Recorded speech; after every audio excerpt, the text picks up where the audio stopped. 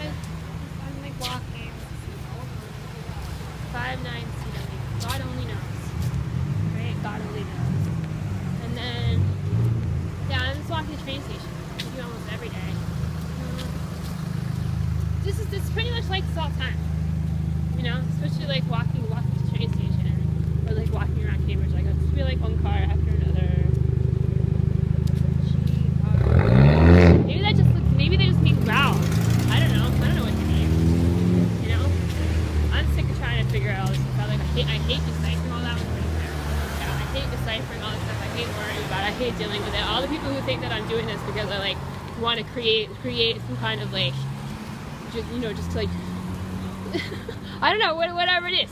Whatever it is. Idea, the idea that I enjoy any of this, or that I'm just like trying to make people notice me, or that like I, there's, there's you know, I, I, would, I would rather be doing this with my time than things that are more interesting and productive. Wow, you are, you are so wrong. I hate all of it. I hate dealing with it. I hate trying to like decipher what's going on all the time. I hate the fact that it's happening. I've always hated it. I've always, always hated documenting it. I was, I was screaming about that from the first week.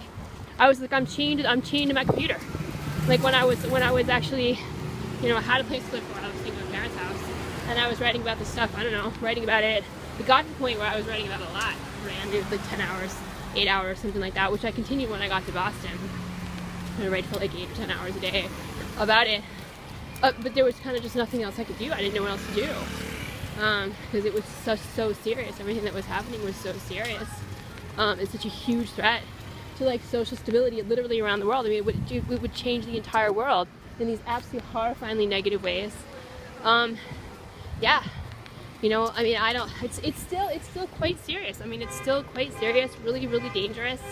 Um, the fact that it happened at all is, um, I think, indicative of the fact that something that really really there needs to be more work done on you know, cementing women's equality, protecting children's rights, that kind of thing.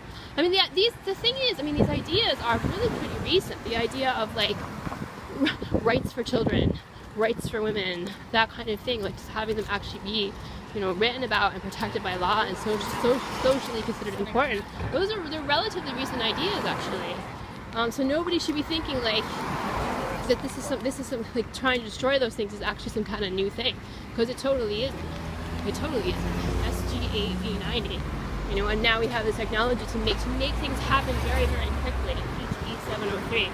It, it, it's it's kind of like the beginning of the century, the beginning of the last century, where all of a sudden, uh, like warfare was possible on a scale that was like just you couldn't even imagine before.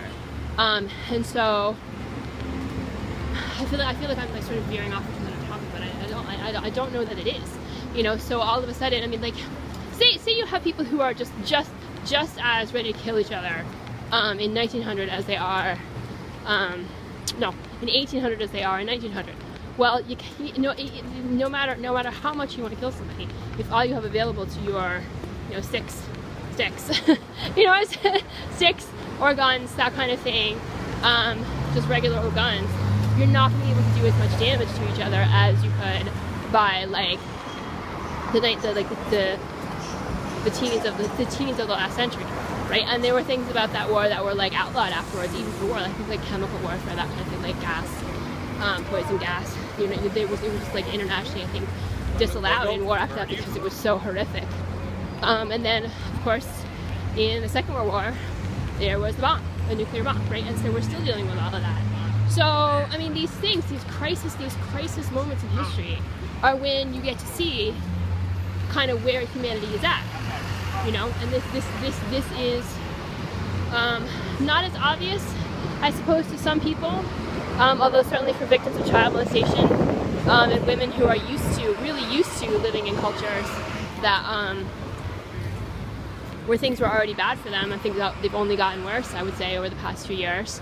Um, they could tell you that yes, it's a catastrophe, but I think you know, I mean, it's, it's it can sometimes be one of the dangers of um, a society that's set up for freedom to be working working pretty well.